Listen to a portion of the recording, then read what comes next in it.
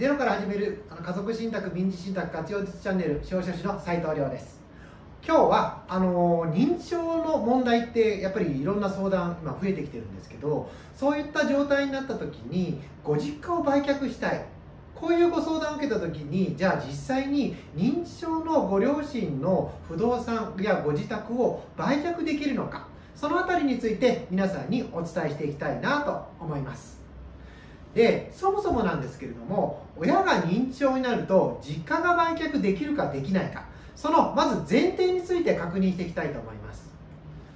例えばあの名義が誰になってるかここを考えていかなきゃいけないんですけどご自宅の名義がそのご家族構成お母さんが認知症お父さんはお元気でご長男の3人で同居されているようなケースの場合にこのご自宅を売却できるのか売却できないのかっていったところについてまず考えていきたいと思います。ポイントとなるのはまず名義なんですね。例えばこのご自宅の名義がお父様名義であれば不動産の売り主まあ、売買契約の当事者になってくるんですけどその売り主はお父さんになってくるからお父さんの判断でご売却することができます。でもこれがお母さん名義だとお母さんが売買契約の当事者となってくるので母の印鑑が必要になってくるんですね。そのためこのケースの場合ではお母さんが認知症である以上本人確認、まあ、売買契約に基づく取引ができないのであの売却ができないという問題が生じます。あと次に出てくるのがこれも意外と相談のケースで多いんですけどご両親の共有名義になっている時なんですね。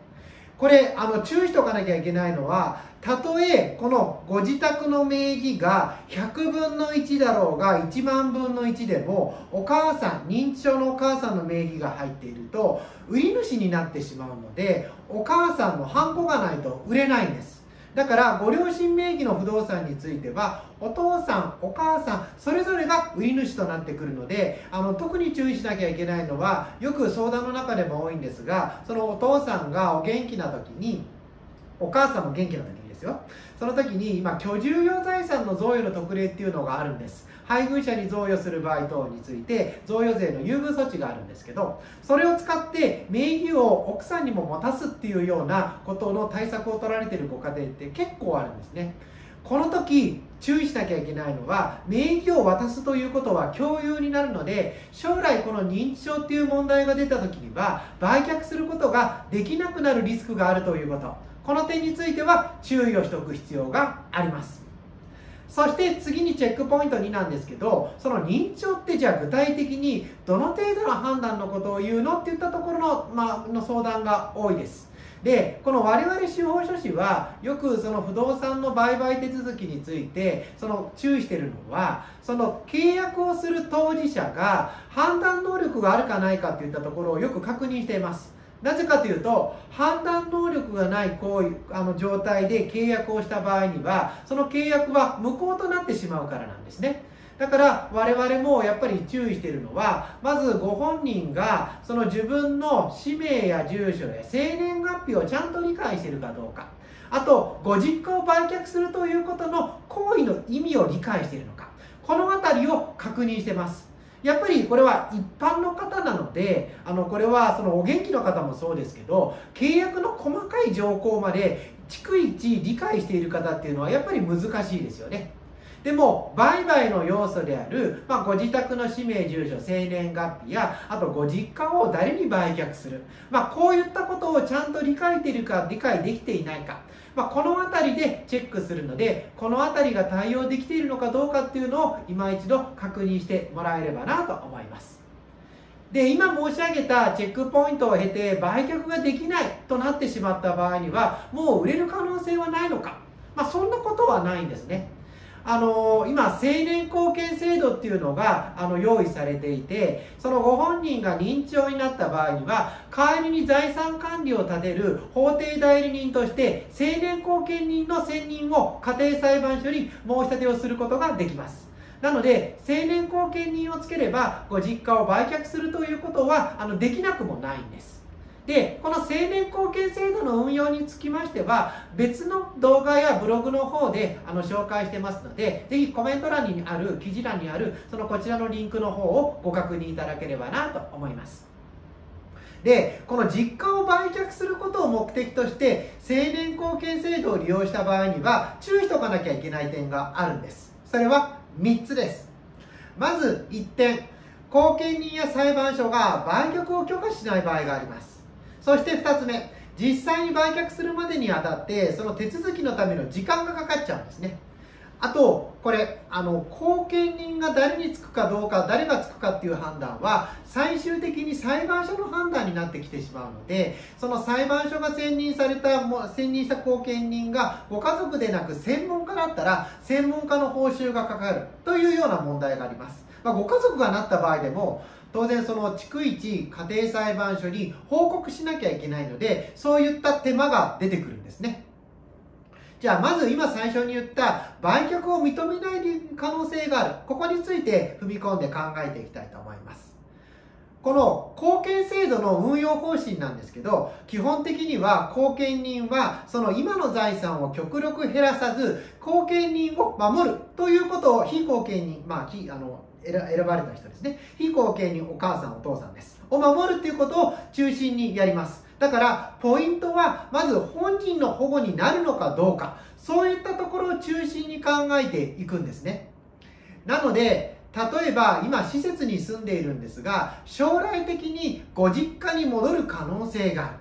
こういった場合には本人の生活の根拠地がなく、本拠地がなくなってしまうので、売却認めてくれないっていう可能性がありますし、あと将来相続になら、争相続にならないように、子供の都合で売却したいっていった問題も、これも本人の保護にならないですよね。ですが、例えば、これからの介護費用とか施設の費用を捻出するために、実家を売却せざるを得ない。で、その売却代金を使って、今後、その親御さんの生活費に充てていきたい。こういった理由があれば、これは本人の保護につながるので、売却できる可能性が非常に高いという話です。だから考えなきゃいけないのは本人の保護。これを中心に考えてください。そこを照らして、じゃあ不動産取引を認めてもいいのか良くないのかっていったところの判断のもとで裁判所が判断します。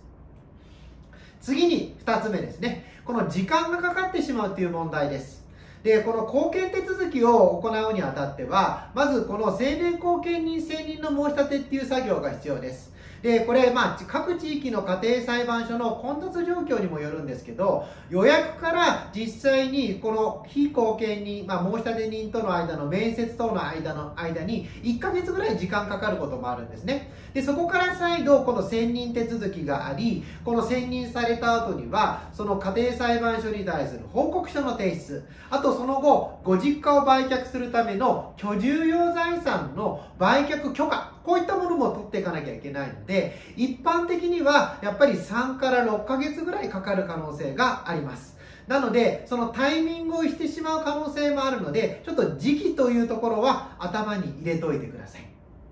あと次に、費用の問題ですね。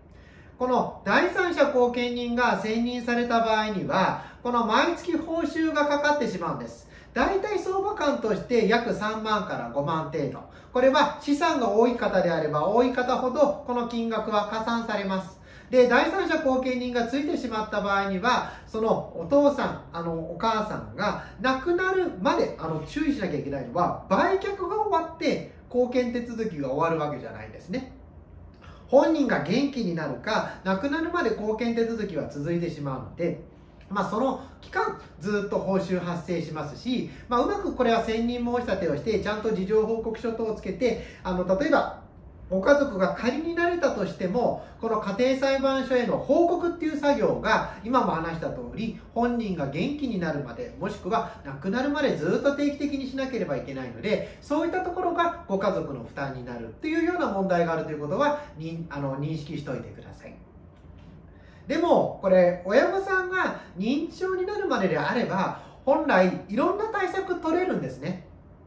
あの、やっぱりこの認知症の問題っていうのは、法律的な判断能力がないから契約できなくなっちゃうんです。だから、その、なる前にいろんな対策を取っておけば、もう少し柔軟に行為を行うことができます。例えばお元気な時であればその不動産の評価額にもよりますけどその贈与をするっていうことも可能ですしあと任意貢献制度っていうのを活用してそのご親族特定の方で任せられる人に対してその後見人になってもらうっていうことを契約で定めることもできます。もっと柔軟に管理したいんであればその家庭裁判所等の監督とか報告手続きがない家族信託っていう制度を使えばそのご信頼できる方をその管理を任せる受託者にあの指名してその方に管理を任せることもできるんですね。だからその症状が発症する前であればいろんな柔軟な対策を取ることができるんですけど発症した後についてはやはりもう後見制度しか方法がない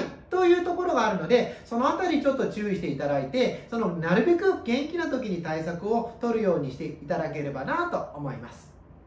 最後にまとめになります。まずこのご両親名義の不動産では親が認知症になってしまった後では親自身で売却することはできません。先ほども言った通り名義がちょっとでも持っていたらもうその方の本人確認や判断能力っていうのがどうしても必要になるんですね。だから大前提として今の現状の不動産の名義と認知症の度合いっていうのを確認してみてください。で認知症が発症したとしても後見制度を活用すればご実家を売却することはできます。ただ今日話した通り、まあ、本人の保護になつながっているのかそういったことを確認していかなきゃいけないです。で判断能力を失う前であればこの選択肢の幅はあの格段と広がるので、まあ、できれば早いうちの対策をそのご家族で検討していただければなと思います。今後もこのチャンネルではこういう生前対策や家族信託の情報を定期的にアップしていきますのであのもしこのこの後も見たいなという方はぜひチャンネル登録のほどよろしくお願いいたします。